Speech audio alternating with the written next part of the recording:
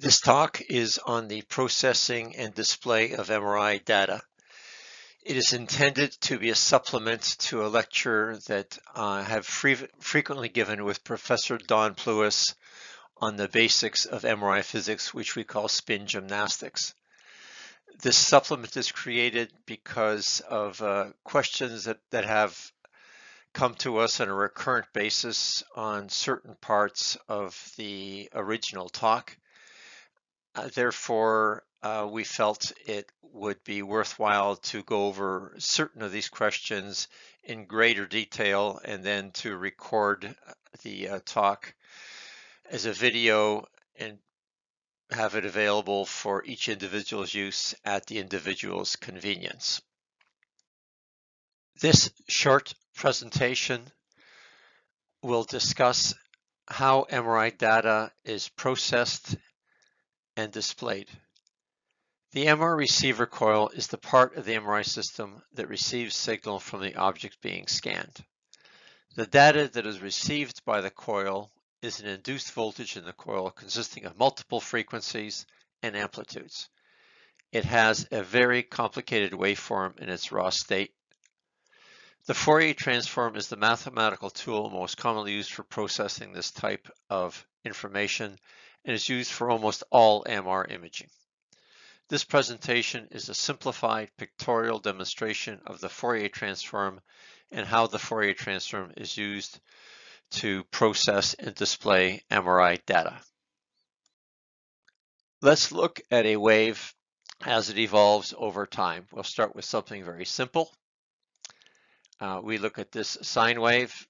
It goes through one full cycle over one second and we have assigned an arbitrary scale to the vertical axis. We see it has an amplitude of three units above the baseline.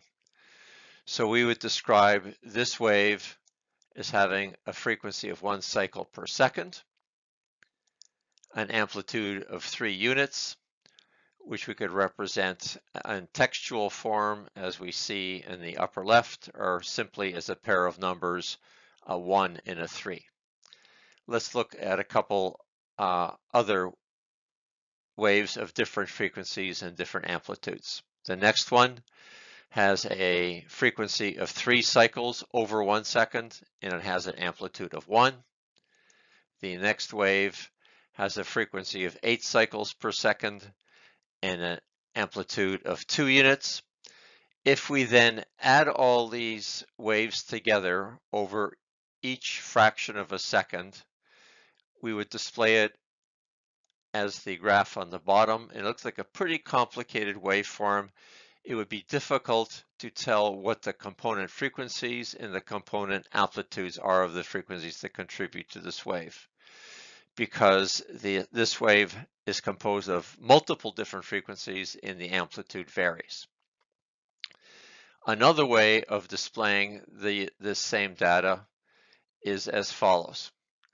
If we look in the upper row, that same data could be displayed as an amplitude versus frequency graph, where the amplitude is displayed as a blue column of three units tall and placed on the frequency axis that represents one cycle per second. Similarly, we could do this with the other graphs as shown in the next row down. This is a frequency of three with an amplitude of one unit. The next one uh, demonstrates that the frequency is eight cycles per second and has an amplitude of two units. And if we now add all this data together, it's a much simpler way of looking at the data. We see that is composed of three discrete frequencies, each of different amplitudes. So if we were going in the reverse direction using the waveforms in the leftmost column, it would be difficult to disassemble the complicated waveform into its individual components amplitudes. But if we look at the middle column, it's a relatively simple task. The relationship between the leftmost column and the middle column is the Fourier transform. And then we can take this one step further. And if we look at the bottom row, rather than displaying uh, the amplitudes as the height of blue columns, we could simply represent them as dots on a single linear axis where the either the size or the brightness of the dot represents the amplitude at the particular frequency. Remembering, of course, that these graphs are a pictorial representation of certain numbers. So if we take a second look at the bottom right, we see that that complicated waveform consists of frequencies of one cycle per second with an amplitude of three, three cycles per second with an amplitude of one, and eight cycles per second of amplitude two. The same type of analysis can be carried out for things or functions that vary over a unit of distance rather than over a unit of time. Uh, this is called the spatial domain rather than the temporal domain. So in this example, I have drawn a relatively thick line across the top left of the image that uh, varies in whiteness going from left to right. It starts as a neutral gray, it becomes white, then becomes gray, then becomes black, and becomes gray again. So it's gone over one full cycle in color variation over a unit of distance of one meter. So in the spatial domain, it would be said that this line has a frequency of one cycle per meter. And if we assigned numbers to the grayscale, where gray is zero and white is three, we would say that the white part of this line has an amplitude of 3 above the baseline grayscale. And we could represent it as a wave over a distance of 1 meter where the amplitude of the wave varies from 0 representing gray up to 3 representing white, back to 0 representing gray, minus 3 representing black, and back to 0 representing gray.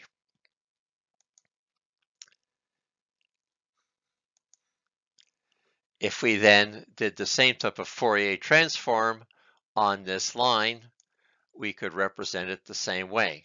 We could represent it as having an amplitude of three units, uh, in this case, units of whiteness at a frequency of one cycle over a meter.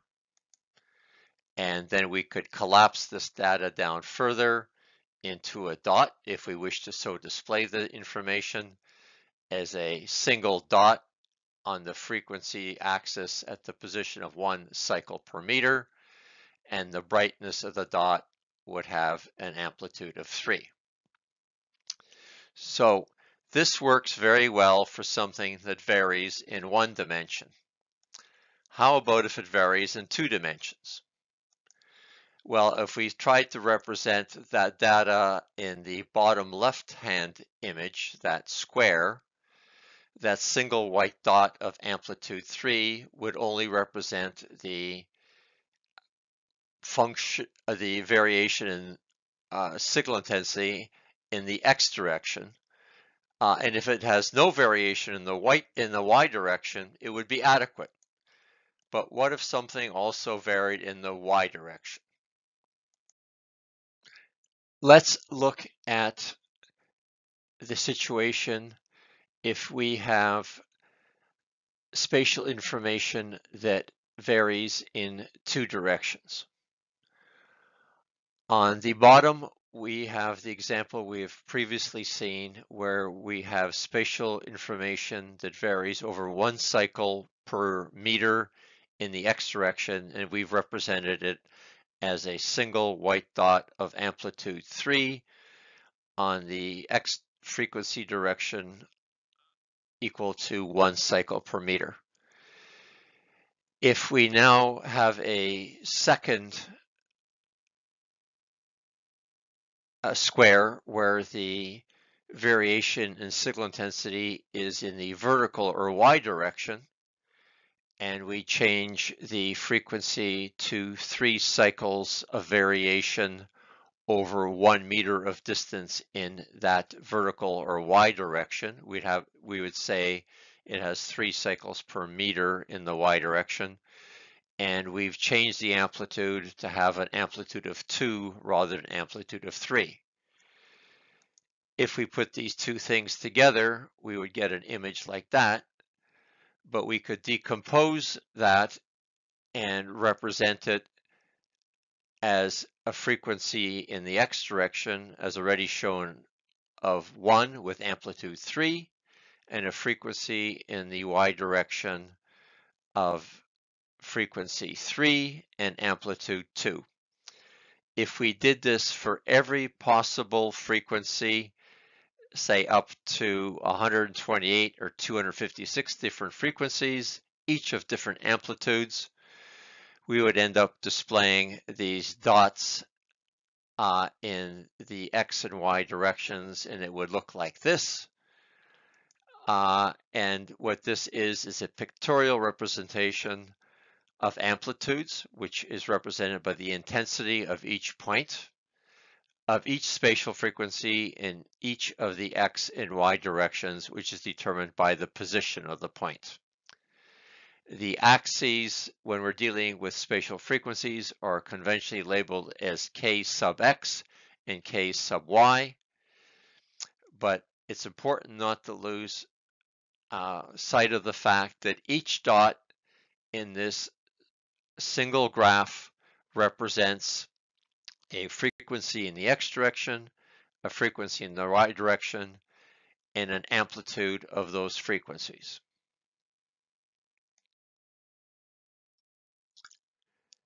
So what we saw at the last part of the last slide was this picture.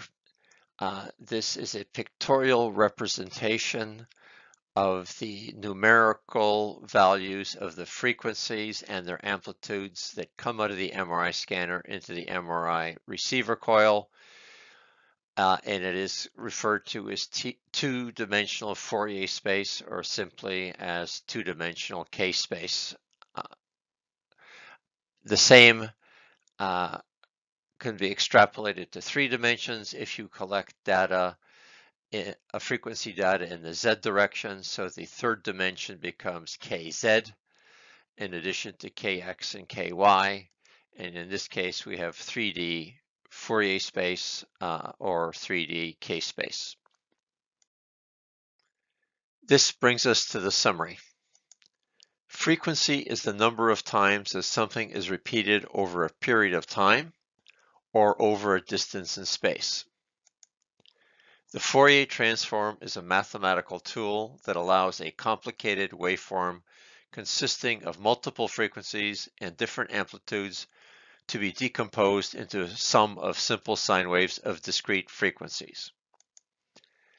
The induced voltage in an MR receiver is this type of complicated waveform, so it lends itself well for Fourier analysis. The conventional way of displaying this MRI data is a graph where the intensity of each dot represents the amplitude of each spatial frequency at a particular point in time. The position of each dot represents the spatial frequency in each direction in units of cycles per unit length. To conclude, a single graph can accurately show all the data obtained from every position in the object being scanned over the entire measurement time. It can be displayed as a single picture and the typical representation is shown at the bottom right. That brings us to the end of this short lecture. Thank you for your attention.